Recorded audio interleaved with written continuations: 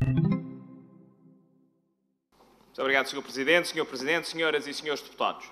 Já muito se discutiu sobre a questão relativa às alterações anunciadas ao regime geral de acesso ao ensino superior. Falou-se também, de forma, de forma clara, literal, mas em surdina, daquilo que são as intenções de reduzir um dos contingentes especiais de acesso. Sim, porque dos cinco contingentes especiais que existem, o Partido Socialista só quer alterar aquele que diz respeito às regiões autónomas. É importante que se tenha noção que todos estes números representam pessoas, representam famílias, representam jovens com sonhos e com ambições sobre aquilo que é a sua realização pessoal. Não deixa de ser interessante que o Partido Socialista faça vários números sobre este mesmo assunto. Num dia vão pedir explicações ao Primeiro-Ministro, no dia a seguir é um não assunto, no terceiro dia não vai acontecer e depois na Comissão Nacional do PS vão lá pedir para que o contingente não seja mudado. Então, senhores deputados, é ou não verdade que há a intenção de reduzir este contingente? Mas, senhoras e senhores deputados, falamos de 800 vagas que se perderão nos cursos e olhando aos números do ano passado, são cerca de 400 alunos que deixam de entrar no ensino superior, caso esta medida passe dos 3,5% para os 2%. É isto que o PS não gosta de ouvir, é disto com que o PS não gosta de ser confrontado e é disto com que o PS diz defender os interesses dos jovens da Madeira e do Porto Santo. Mas, minhas senhoras e meus senhores, aquilo que diz respeito ao Partido Socialista, sabemos e muito bem que ao ensino superior diz respeito, não há qualquer contemplação relativamente às regiões autónomas. Chumbam o estudante atleta, chumbam a majoração do financiamento, anunciam a redução do contingente e depois dizem que estão cá para defender os interesses dos jovens e que estão cá para defender os problemas da juventude. Os senhores do Partido Socialista deviam era ter vergonha na cara.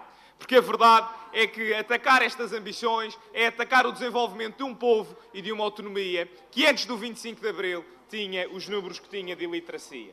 Se fizermos tudo bem, provavelmente não. Mas a verdade é que, com forças políticas que dizem representar a Madeira, a atrasá-los desta forma, seguramente não vamos a lado algum.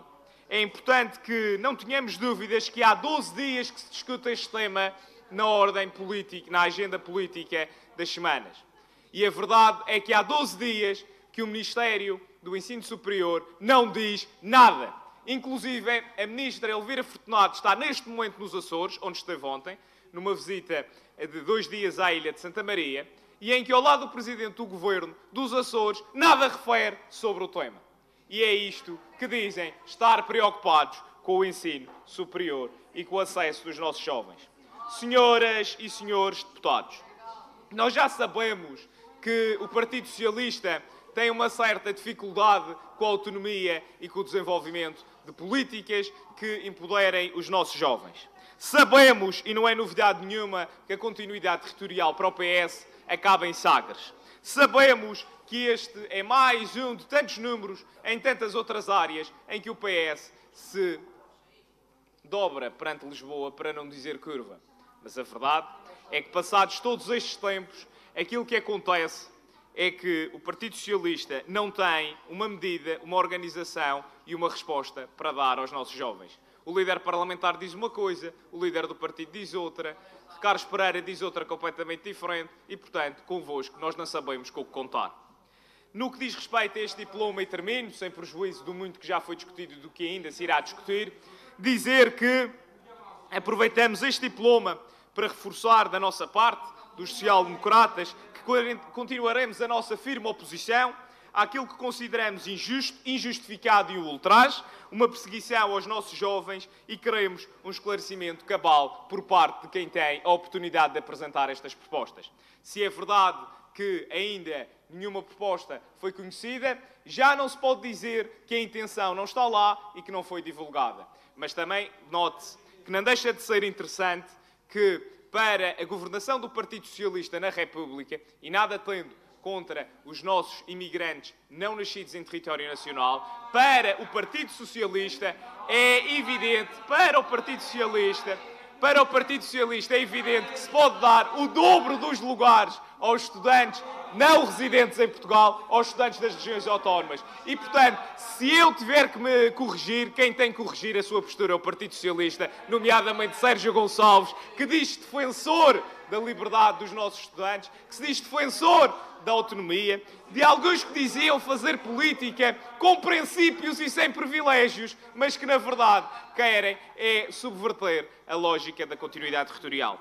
Se há alguém que precisa do recado de que não passarão, são estes senhores que aqui se sentam e os senhores que em Lisboa dizem representar a Madeira, mas que à primeira oportunidade chamam as aspirações dos madeirenses. Conosco, as novas gerações poderão contar com uma luta intransigente por aqueles que são os seus direitos e as suas concretizações. Mas mais importante do que isso, nós não temos duas faces. Não dizemos uma coisa na República e outra na Madeira. Pena que o maior partido da oposição e que augura um dia querer liderar a Madeira não tenha esta atenção para com os madeirenses. Muito obrigado.